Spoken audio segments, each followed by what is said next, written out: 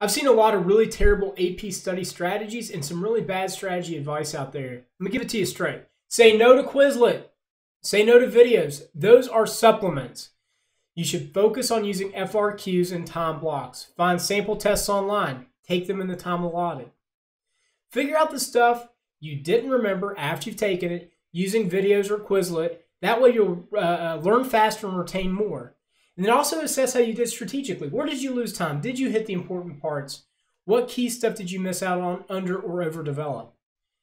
Even when you're reviewing your answers, use time blocks 20, 30, or 50 minutes, depending on your exam. Get used to thinking in those kinds of increments. Then, find more questions online and repeat. For extra credit and an extra good shot at getting a 5, try making your own. Best way into a test is try to recreate it. Now, on our blog, you'll find some great resources to help you along. Stay healthy and work smarter, not harder.